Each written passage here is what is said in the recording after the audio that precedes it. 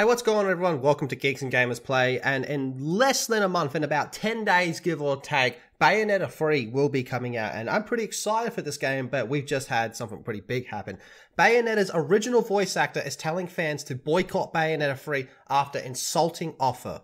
So, look, there's a video down here, and I think the best thing to do is just to jump right into it and listen to what she has to say. So, this is the original voice actor from the first two games who was not in the third game.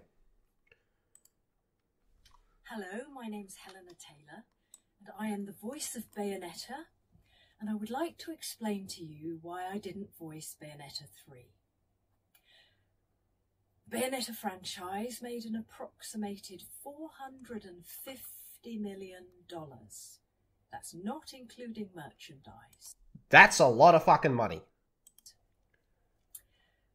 As an actor, I trained for a total of seven and a half years three years at the London Academy of Music and Dramatic Art, LAMDA, Okay. with voice coach Barbara Barkery, and four and a half years with the legendary Larry Moss in Los Angeles. Cool. And what did they think this was worth? What did they offer to pay me?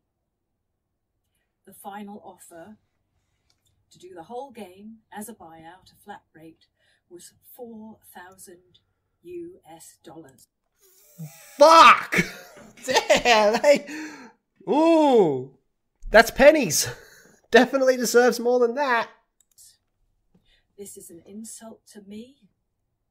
The amount of time I agree. to work on my talent It's definitely someone in the everything that I background there. given to this game and to the fans. I am asking the fans to boycott this game and instead spend the money that you would have spent on this game donating it to charity. Hmm. Hmm. I didn't want the world. I didn't ask for too much. I was just asking for a decent, dignified living wage. What they did was legal, but it was immoral. Wow. Okay, dude. Only four thousand dollars to come back for Bayo free. That is.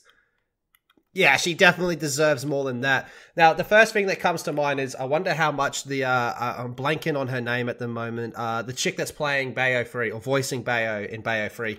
Uh, how much are they paying her? I wonder. I can't imagine her getting less than four thousand dollars, so that's pretty fucked in itself.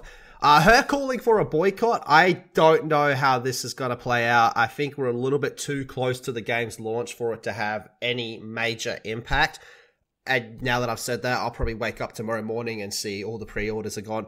Look, I can't deny I am very excited for Bayonetta 3. It's one of my most anticipated games for this year, and Oh man, this is pretty crazy, isn't it? I can't see this playing out too well in her favor, but I, I totally agree. She definitely deserves more than four thousand dollars. Look, the game drops on October uh, twenty eighth, man. So that's that's twelve days from now, less than two weeks. God damn, man. So you let me know what you think. Do you think that she's been underpaid? Because I certainly do. And does this affect your decision to get the game? And I can imagine a few people are going to want to emulate it now. But you let me know how you're feeling in the comments section down below. Be sure to subscribe to Geeks and Gamers Play and check out geeksandgamers.com. And I'll see you all in the next video.